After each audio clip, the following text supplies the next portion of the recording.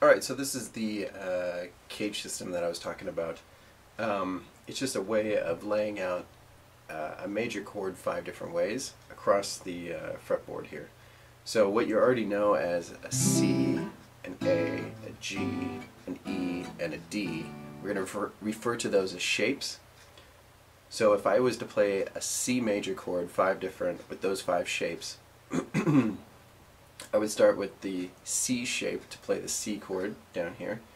And uh, I'm going to illustrate it like this with my first finger laying across the nut because the make sure remo we remember that the um, third string and the first string are open here. So, so this is really the shape that gets moved up. It's not this, which common misconception there. But um. So if I was going to play a C chord with the C shape, and then I'm going to play a C chord with the A shape, alright, and then a C chord with the G shape,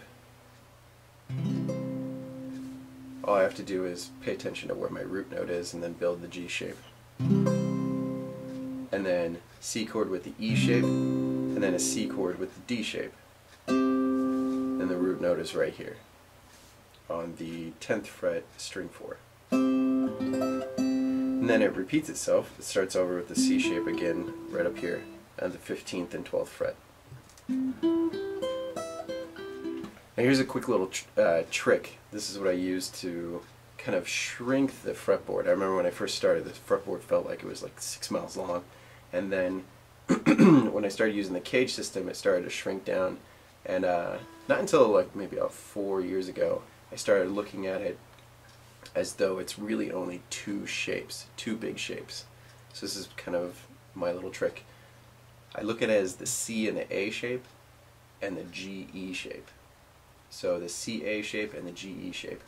What that really does is all you have to do is focus on the root note right here for C.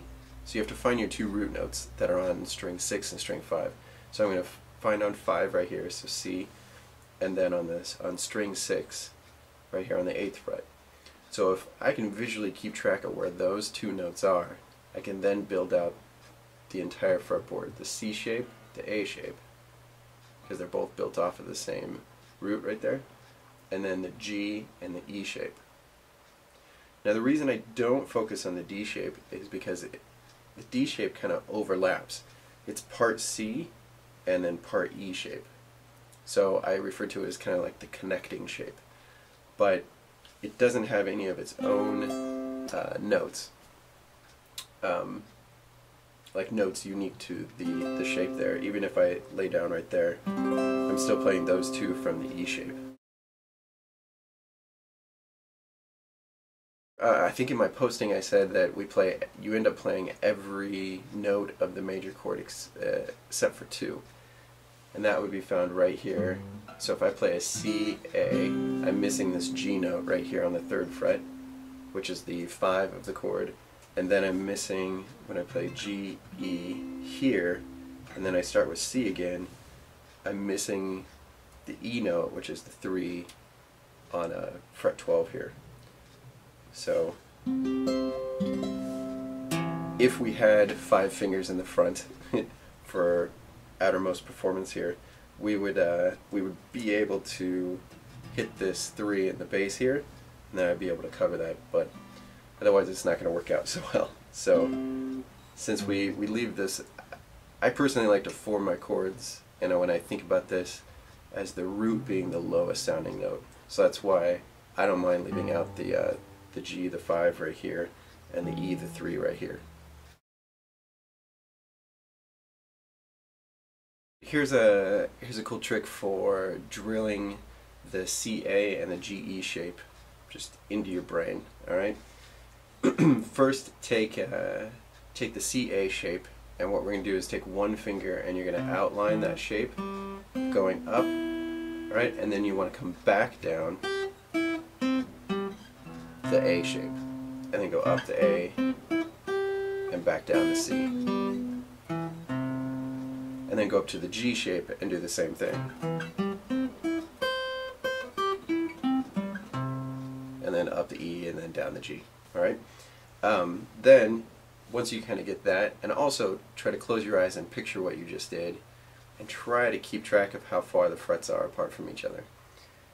Now, uh, to increase the difficulty, and this is all about visualization because the more you can just visualize where you are on the fretboard, um, you can just kind of move around real quick.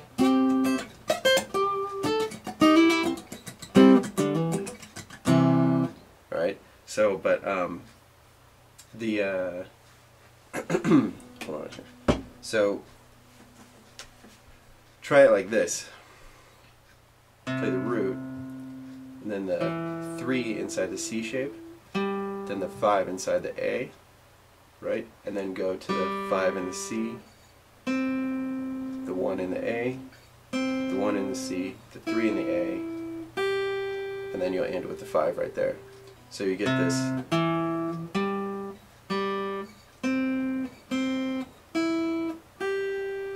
Right? Then try to do it with just one finger because then you have to keep track of where everything is with your eye only. I usually kind of almost kind of stare in the middle and use my peripheral to move around real quick and then do the same thing with the G and the E where you're right? Um, and that'll kind of help drill in the C A and then the G E